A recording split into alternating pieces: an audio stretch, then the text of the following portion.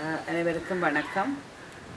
Covid nineteen corona இடர்காலத்திலே நாடே முடக்கப்பட்டிருக்கின்ற இந்த சூழலிலே கொரோனா மரணங்களும் அதி அதிகரித்து கொண்டிருக்கின்றது. சிறுவர்களும் கர்ப்பிணி பெண்களும் கூட இதனால் அதிகளவில் பாதிக்கப்பட்டு கொண்டிருக்கிறார்கள். நமது தேசத்திலே ஒரு நாளைக்கு ஆறு ஏழு எட்டு என்று மரணங்களும் அதிகரித்து கொண்டு செல்கின்றது. இந்த வேளையிலே கொரோனா மரணம் அதிகரி அதிகரிப்பதை நினைத்து கவலைப்படுவதா?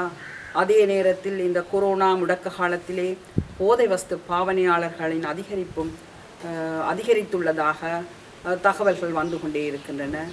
இந்த போதை பாவனையாளர்கள் இந்த கொரோனா முடக் முடக்க காலத்திலே தம்மை எவ்வாறு அந்த பொழுதுகளை போக்குவது என்பதை அறியாத இளைஞர்கள் போதையை நாடிச் செல்வது அதிகரித்துள்ளது.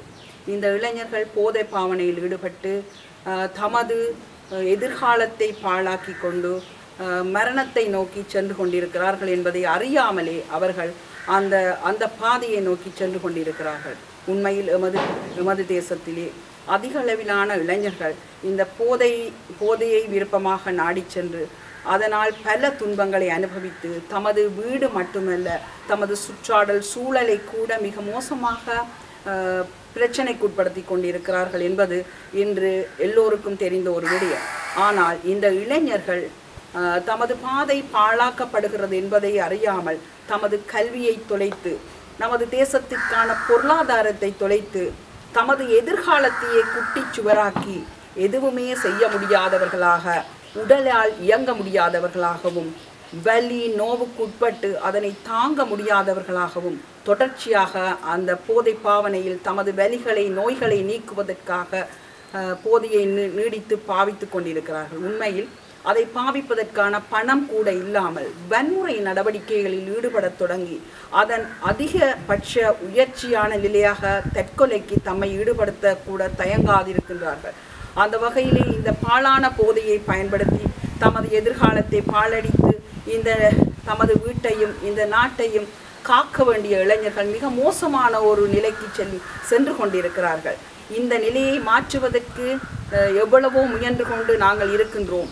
ஆனால் ரெண்டாயிரத்தி பதினெட்டு பத்தொன்பதாம் ஆண்டுகளில் இதை மாற்றுவதற்கு கிடைத்த சந்தர்ப்பங்கள் கூட இப்போது ரெண்டாயிரத்தி இருபது இருபத்தொன்றுக்கு நமக்கு கிடைப்பது மிக அரிதாக இருக்கிறது. கோவிட் முடக்க காலத்தில் நம்மால் இதற்கான விழிப்புணர்வுகளை கூட செய்ய முடியாதிருக்கின்ற இந்த சூழலில் கோவிட் முடக்கத்திலே சிறுவர்கள் கூட இந்த போதை பாவனைக்கு அடிமையாகிற ஒரு துர்ப்பாக்கிய சூழல் நமது தேசத்திலே உருவாகி இருக்கிறது குறைந்தது பத்து பன்னிரண்டு வயதிலிருந்து இருபத்தெட்டு முப்பது முப்பத்தைந்து என்று அந்த வயது எல்லை கூடிக்கொண்டே செல்கிறது. எமது தேசத்திலே திட்டமிட் திட்டமிடப்பட்டு கட்டவிழ்த்து விடப்பட்டிருக்கின்ற இந்த போதையால் எமது தேசத்தில் உள்ள பரம்பரை அழிவுக்கு கூட இந்த போதை நம்மை வீழ்த்தி இருக்கிறது. க பத்து வயதிலிருந்து முப்பத்தி ரெண்டு முப்பத்தி மூணு வயது என்றால் எத்தனை வருட பரம்பரைகள் நமக்கு ச- சரிவை கொண்டு வர போகின்றது என்பதை நாங்கள் அனைவரும் சிந்தித்து பார்க்க வேண்டிய தருணம் இது. இதிலே மிக மு- மிக ஆர்வலர்கள் எல்லோரும் அவசர அவசரமாக இந்த போதை தடுப்பிலே கட்டாயமாக செயற்பட வேண்டிய ஒரு சூழல் உருவாகி இருக்கிறது.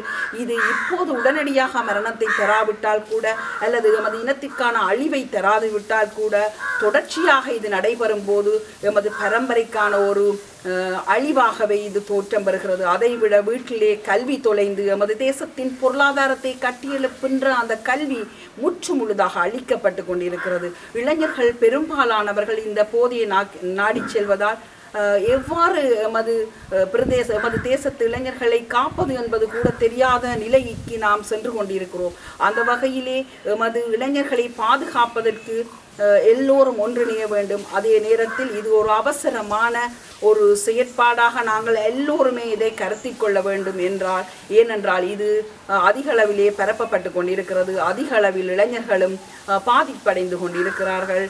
அந்த வகையிலே நம் நம்மால் முடிந்தளவு இந்த போதை பாவனைக்கு எதிராகவும் போதை தடுப்புக்கு உரியவர்களாகவும் நாம் நம்மை மாற்றிக்கொண்டு செயற்பட்டு கொண்டிருக்கிறோம்.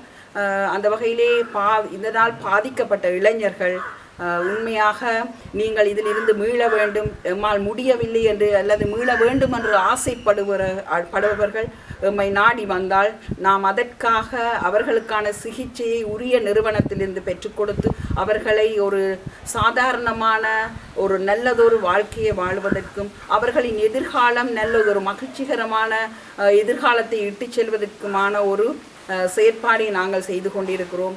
அந்த வகையிலே எமது இளைஞர்கள் கல்வியை தொலைத்து வாழ்க்கையை தொலைத்து பொருளாதாரத்தை தொலைத்து எல்லாமே இழந்த நிலையில் குடும்பங்கள் சிக்கல்பட்டு கொண்டிருக்கின்றார்கள் இருக்கின்றார்கள்.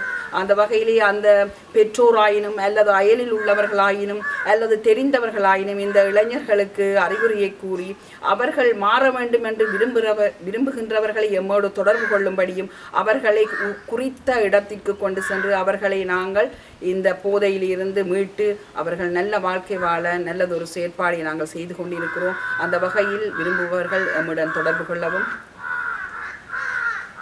நன்றி.